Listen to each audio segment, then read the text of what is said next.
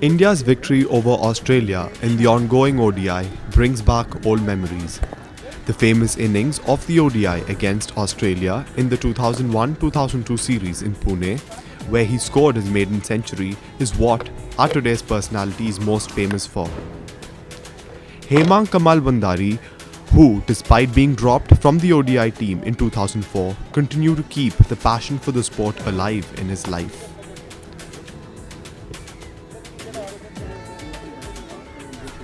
I would say the day starts pretty early for most of us uh, because we start practice by about 6 6:30 at the most. So you kind of leave home by about half half past five.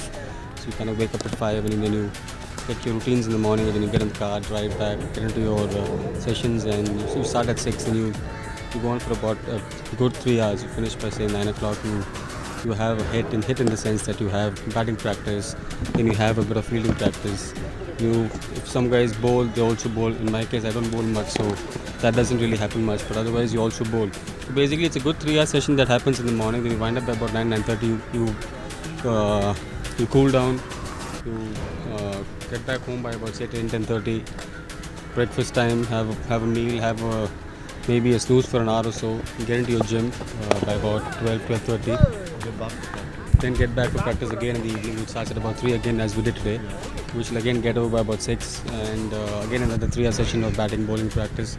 You also do a bit of drills as in if you ironing out a few uh, errors ironing out a few issues in your batting bowling, you kind of work particularly on that.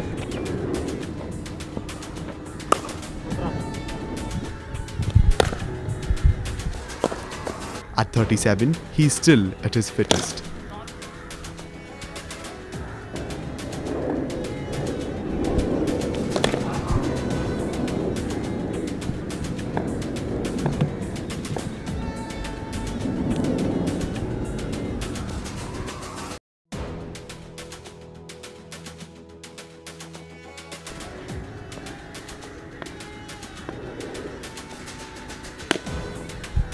Well, I I have a son who's about 11. Uh, we've been married for, for about uh, 13 years now, and I still do live with my parents. Uh, my mom and dad, me, my son, and uh, my wife. It's about five of us at, at home right now. Is he also an aspiring cricketer? Well, he does have the inclination towards the sport, but uh, you know what? I'm not someone who believes that okay, you know what? I've played, so he also has to play. If it's there in him, if he wants to play, if he has the hunger, and if he has the skills he will i'm there to help him yes. I'm there to guide him i'm there to give him the right direction. But i'm not a parent who would say you know what? You have to play cricket. To me he's probably one of the two players who's uh, been supreme heroes to me. The, uh, one is Sachin Parchi and the next is Rahul Dravid. I mean like many other sports persons who have been forgotten after their retirement, Hemang Badani is forgotten too.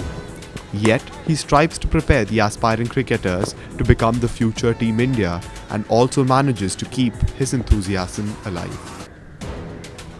With camera person Binjal Shah, this is Abhishyant for ACJ News.